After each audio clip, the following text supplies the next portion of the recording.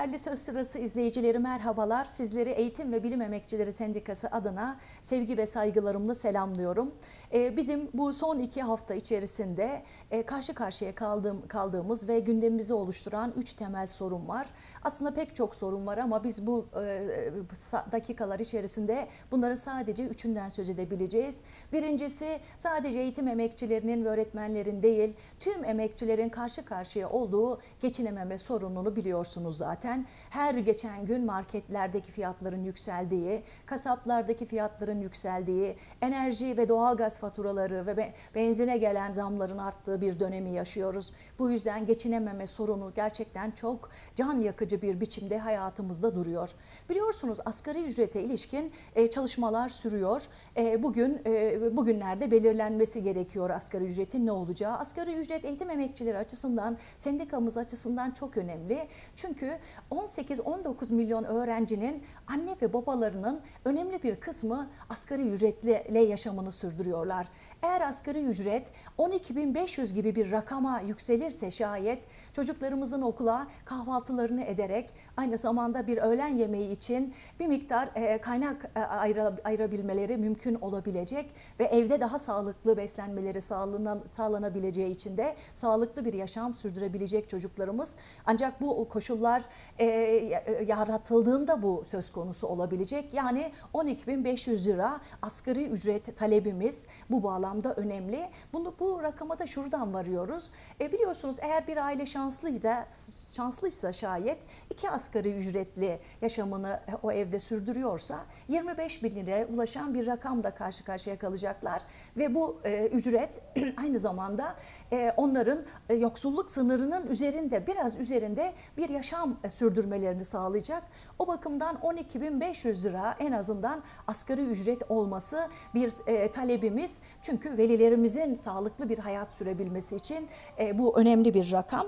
İkincisi tabii 2023 yılında enflasyon durup dururken birdenbire düşmeyecek. Bunu hepimiz fark ediyoruz. Bu bağlamda enflasyon vergisi biçiminde cebimizden her ay bir miktar maaşımızın çekildiğini yaşıyoruz. Bunu hissediyoruz bir taraftan. Bu nedenle 4 e, ayda bir, yılda 3 kere asgari ücretin belirlenmesi son derece önemli. Çünkü e, enflasyon karşısında asgari ücretlerin ezilmemesi için bu çok değerli bir şey olacak.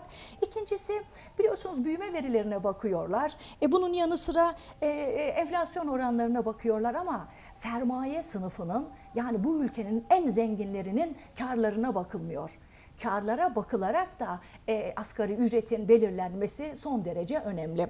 Şimdi tabii asgari öğretmenlerimizin ücretlerinin yeni başlayan, göreve yeni başlayan öğretmenlerimizin ücretlerinin neredeyse asgari ücrete yaklaştığını tahmin edebilirsiniz. Türk İş e, 9 bin lira civarında, 8 bin 9 bin lira civarında bir talebi olduğunu duyuyoruz zaten. Göreve yeni başlayan öğretmenimiz de 8600 lira alıyor ve birkaç ay sonra da 9 bin lira alıyor. Ama şunu çok net biçimde gözlemleyebiliyoruz görüyoruz. Artık asgari ücret ortalama bir ücret haline getirilmiş durumda. Ve buna karşı çıkıyoruz. Deneyimi, eğitimi gören bir zeminden emekçilerin insan onuruna yaraşır bir yaşam sürdürmeleri için ücret politikasının emekten yana değiştirilmesi gerektiğini ifade ediyoruz. Tabii bizim gündemimizi oluşturan çok yakıcı konulardan birisi de eğitimde şiddet. Eğitimde özellikle çocuklarımıza yönelik istismar, taciz ve benzeri olayların son aylarda, son yıllarda özellikle giderek artıyor olması. Olaylardan birisi İsmail Ağa cemaatinin Hiranur Vakfı'nda 6 yaşındaki bir çocuğun yıllarca bir cinsel şiddetle karşı karşıya kalmış olması. Bu bir çocuk ortaya çıktı. Bu çocuklardan kaç tane var? 100 mü, 200 mü, 1000 mi bu sayıları bilmiyoruz. O yüzden kamusal denetimin bu bağlamda çok önemli olduğunu düşünüyoruz. Bu çocuğun hiç okula gitmediğini de öğrendik. Peki Milli Eğitim Bakanlığı 222 sayılı yasa, 1739 sayılı yasa gereğince bu çocukları neden takip etmedi? Neden bu çocuklar zorunlu eğitim olmasına rağmen okula gelemediler? Çünkü okul bir kamusal alan. Bu kamusal alanda bu tarz cinsel taciz ve sömürü olaylarının daha hızlı bir biçimde ortaya çıktığında gözlemliyor biliyoruz. Yine başka bir olay. Düşünün e, bir e, tarikatında e, Antep Nurdağı ilçesinde başka bir olayla karşı karşıya kalıyoruz. E, buradaki tarikatların içerisindeki insanların, üst konumlardaki insanların çevresindeki kişiler 5 yaşındaki, 6 yaşındaki ve 17 yaşındaki çocuklara tecavüz etmişler. Ve bu olay çok can yakıcı biçimde gündemimizde olmak durumda. Çocuklarımızı korumak durumundayız. Ve aklımıza yine şuradan e, bu şu konu geliyor.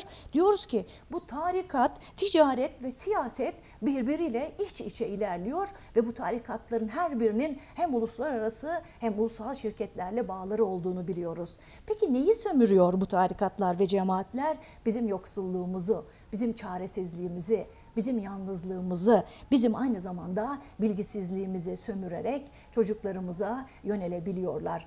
Dolayısıyla bizim şunu yapabilmemiz gerekiyor. Eğitim alanından tarikatların, cemaatlerin ve son dönemde ülkücü derneklerin de aynı zamanda okullara gelip YKS, LGS gibi deneme sınavları yaptıklarını da görüyoruz. Eğitim alanı kamusal bir alandır.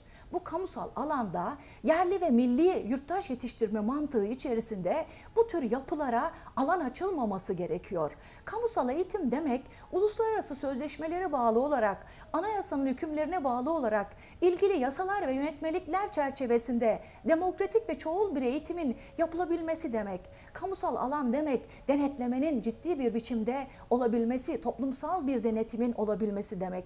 Ama son dönemlerde yapılan protokoller çerçevesinde bu alan bu iki alanı alan üzerinden de yani ülkücü dernekler ve aynı zamanda tarikat ve cemaatlerin öylesine rahat bir biçimde girip çıktığı alanlar haline gelmiştir ki artık kamusal eğitim ciddi bir anlamda tasfiye edilmesine dönük bir tehlikeyle karşı karşıyadır. Bunun ortadan kaldırılması için veliler olarak, tüm eğitim emekçileri olarak, tüm kamu emekçileri olarak birlikte mücadeleyi güçlendirmemiz gerekiyor. Beraber güçlüyüz, birlikte güçlüyüz ve bu kişilere karşı, bu yapılara karşı da birlikte mücadeleyi örebiliriz. Üçüncü gündem maddemiz öğretmenlik meslek kanunu. Biliyorsunuz bu kanuna karşı çok ciddi bir mücadele yürüttü sendikamız. E, Anayasa Mahkemesi'nde hali hazırda Cumhuriyet Halk Partisi'nin verdiği bir yürürlüğü e, durdurma e, amacıyla verdiği bir dilekçesi Anayasa Mahkemesi'nde hala duruyor ve bu konuda hızlı bir sürecin işletilmesi gerekiyor. Çünkü e, gerçek anlamda bir süreç işletilmediğinde e, gerçekten telafisi imkansız çeşitli sorunlarla karşı karşıya kalacağımız çok açık. Bu nedenle kariyer basamakları sınavı getirdiler biliyorsunuz. Bu sınavdan geçti e, e, öğretmenlerimizin önemli bir kısmı. Bizim şimdi talebimiz şudur. Bir kere öğretmenlik meslek kanunun iptal edilmesini istiyoruz. Kariyer basamakları eğitim alanında karşılığı yok. Bu bunun ortadan kaldırılmasını istiyoruz. Ve aynı zamanda talep ettiğimiz diğer konu kariyer basamakları adı altında e, kimi öğretmenlere verilen maaş iyileştirmelerinin hiçbir ayrım yapılmaksızın eşit işe eşit ücret ilkesinin bir gereği olarak tüm öğretmenlerimize hatta tüm eğitim emekçilerine verilmelidir. Bu nedenle ben bu talebimizi de burada dillendirmiş olayım. 2023 yılı emekten, demokrasiden ve barıştan yana bir yıl olsun diliyorum. Bunu yapmakta bizim elimizde birlikte mücadeleyle başaracağız.